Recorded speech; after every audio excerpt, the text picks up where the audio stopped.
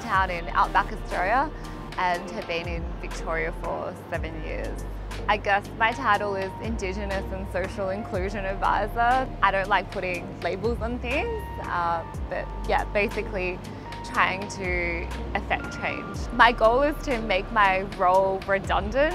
Um, a lot of people think like, what the hell, that if you do that, then you won't have a job, you put yourself out of work. But uh, for me, I mean, I've, I've seen these kind of roles pop up over the last few years, but if everybody's being socially inclusive, you know, companies are just diverse, then there'll be no need to have a role or have somebody trying to trying to lead that.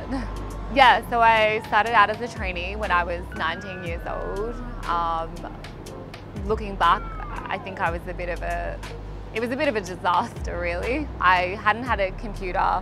Um, I didn't know how to send emails. I would stuff up spreadsheets all the time. I, I really had no idea. Uh, but I was lucky because I had a senior project engineer and shared an office with a lawyer who would take the time of day and uh, help me, guide me.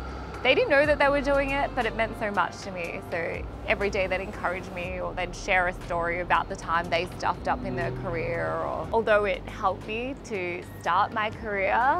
So I'm passionate about my role purely based on my personal experiences.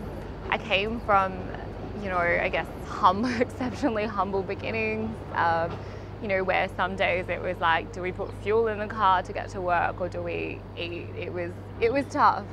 Um, so for me, I guess I've, I've started from, I guess in the industry, the bottom, and then sort of worked my way up, gone on to further study, did Toastmasters, uh, networking events, um, stayed back late, worked on weekends just to learn more, um, get the experience that I could get volunteer, do, do all those sorts of things. So for me, um, it has been very, I guess, not so straightforward or it's been, it's been tough trying to get where I am today.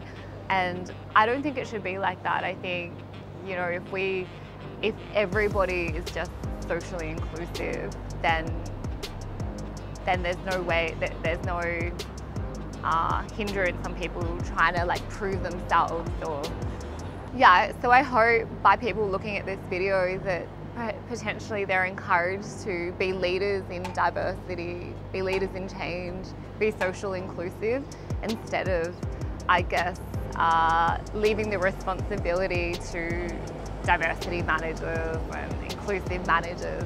And, and by doing that, uh, ultimately, hopefully, the goal is to make these roles redundant.